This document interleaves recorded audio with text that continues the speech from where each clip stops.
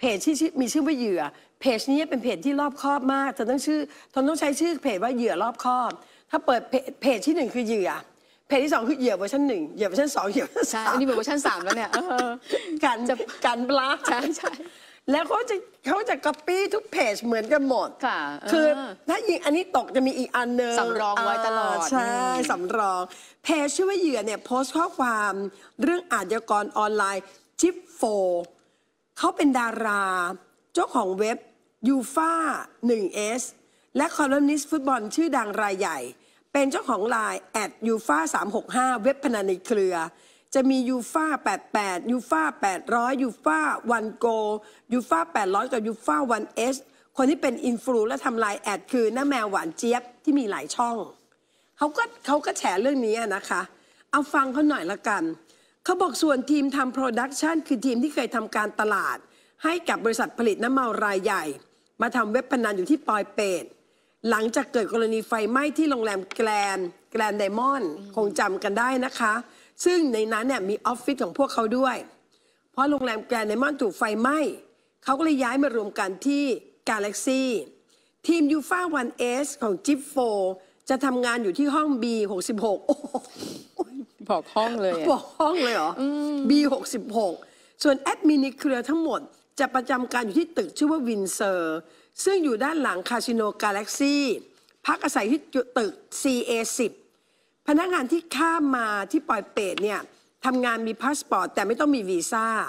ต้องข้ามไปข้ามคือต้องอาศัยข้ามไปจ็อบพาสปอร์ตเข้าออกทุกๆ 14 วัน คือเข้าไป 14 วันแล้วก็ไปรายงานตัว ต่อต่อไป แล้วเขาให้รูปเสร็จเธอ ให้ชื่อตึกชื่อห้องรูปเสร็จเรียบร้อย ก่อนหน้านี้เพจเหยื่อเนี่ยโพสต์พฤติกรรมของคอลัมนิสต์ฟุตบอลชื่อดังรายหนึ่งมาแล้ว เมื่อ 28 กุมภาพันธ์ที่ผ่านมา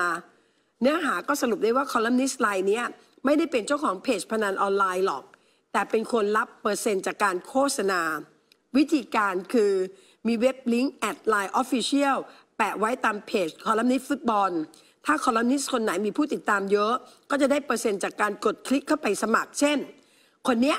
มีผู้ติดตาม 60,000อินฟลูใช่ไหมค่ะทั้งหมดเสียเงินจากการพนันฟุตบอลออนไลน์ไปคนละ 500 บาท ถ้าใครแบบคือคือจากการสมัครสมัครสมัครเว็บเนี้ยจะได้ 30 ล้าน เจ้าของเว็บก็แบ่งให้คอลัมนิสต์นี้10ถึง30เปอร์เซ็นต์ใครสมัครเข้ามาเล่นกับเขาอ่าโดยผ่านอินฟลูคนเนี้ยค่ะก็จะได้ตังค์ได้เปอร์เซ็นต์ได้ไปแบ่ง ล่าสุดพลตำรวจโทจิรพภูริเดชผู้บัญชาการตำรวจสอบสวนกลาง ก็บอกว่าเบื้องต้น ยังไม่ได้รับข้อมูลที่มีคอลัมนิสต์ฟุตบอลชื่อดัง ไปพัวพันกับเว็บพนันออนไลน์ ถ้ามีข้อมูลเมื่อไหร่ ก็จะสืบสวนเสือบสอบสวนทันที ถ้าพยานหลักฐานเชื่อมโยงไปถึงจริง ก็จะดำเนินการตามกฎหมายค่ะ นี่เขาชี้เป้า ชี้เป้าให้อืมอ่ามันมีเว็บนะ มันมีคนทำเว็บนะ มาจากกลุ่มคนหนึ่ง production ทีม production ไปอยู่ที่ปอยเปตก็ทุกๆ 14 วันไปจ็อบ ไปจ็อบวีซ่าไปต่อพาสปอร์ตทีหนึ่งอยู่ที่ตึกนี้ชั้นนี้ห้องนี้ วิธีการทำคือก็คือเอาเอาเอาเอ่อเอาอุปกรณ์ทั้งหมดเนี่ยค่ะเว็บพนันอะไรทั้งหมดไปอยู่ที่นี่ แล้วก็ให้อินฟลูซึ่งเป็นคอลัมนิสต์ฟุตบอลชื่อดัง เป็นคนทำโฆษณาให้ส่งถ้ามีคนลิงก์ให้อ่าเออลิงก์อะมีคนจากคนเนี้ยค่ะซึ่งมีคนติดตาม6 0 0 0 0 8 0 0 0 0เนี่ยถ้ามาจากคนนี้คุณก็จะได้เปอร์เซ็นต์ จากลูกค้าที่มาเล่นพนันกับเรา คนละ10อ่าบางครั้งก็10ถึง30เปอร์เซ็นต์ง่ายๆเลย คือจังเก็ตแจ็คเก็ตคือสมัยก่อนเนี่ยบอยเปกเขาจะมีอย่างนี้ว่า ถ้ามวยเนี่ย เอาคนเนี่ยขึ้นรถตู้ที่อนุสาวรีย์ชัย แล้วไปเล่นที่ปอยเปตค่ะ คุณเอามากี่คน ไม่ว่าทั้งหมดนั้นจะได้เสียเท่าไหร่ก็ตามที มวยจะได้ค่าพาคนไป นับรายหัวเลยไหมคะ ใช่นับรายหัวสิโอ้นี่สมมติมวยบอกไอ้ยฉันทำแต่คนเหล่านี้ต้องต้องต้องเล่นนะค่ะต้องเล่นไม่ใช่ไปยืนอืมอืมยืนดูต้องไปลงอะไปลงเงินอะ ได้เสียว่ากันใช่ใช่เออได้เสียว่ากันเหมือนกันสมัยก่อนมันยังไม่มีออนไลน์ไงค่ะมันใช้ระบบขนขึ้นรถรถตู้แล้วไปด้วยกันจึ๊ดจึ๊ดจึ๊ดจึ๊ดจึ๊ดเพราะมันลงรถตู้ปุ๊บเขาก็จะเอาพาสปอร์ตเนี่ยไปยิงเข้าคิวให้เป็นตอกตอกตอกตอกอ่าก็จะไปพฤหัสศุกร์เสาร์อาทิตย์ แล้วถ้ามีวันหยุดวันหยุดติดต่อกันก็พฤหัสศุกร์เสาร์อาทิตย์จันทร์อ่าก็จะสี่คืนค่ะ เขาพอเข้าไปปุ๊บ คนพวกนี้ก็จะต้องมีเงินวางเอาไว้ กินฟรี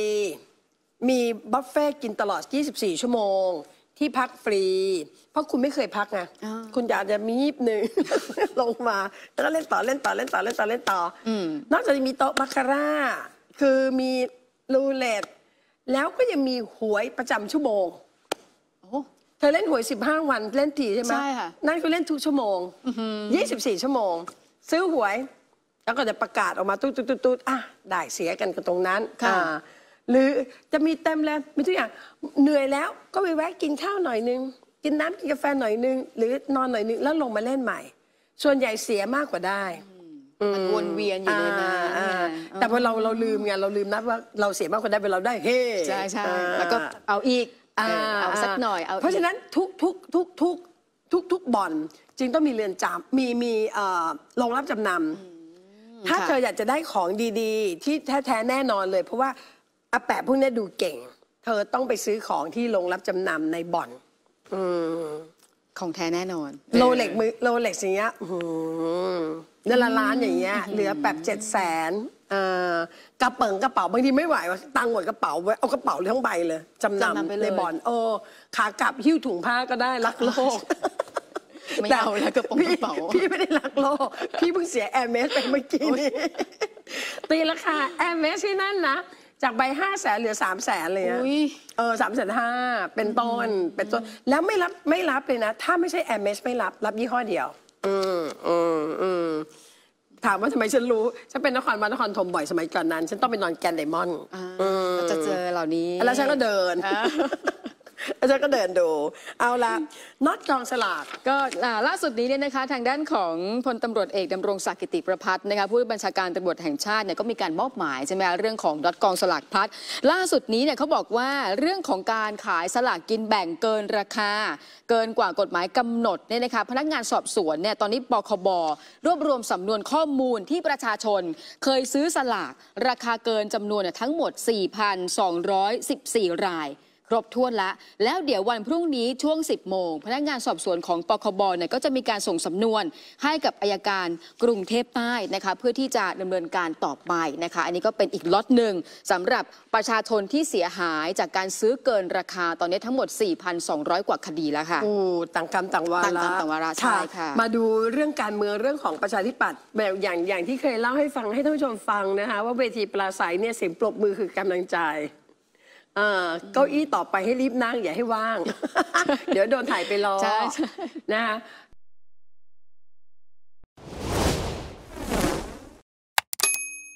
ไม่พลาดข่าวสำคัญระดับท็อปได้ง่าย ๆ ทุกที่ทุกเวลากับแอปพลิเคชัน Top News รับการแจ้งเตือนข่าวสารใหม่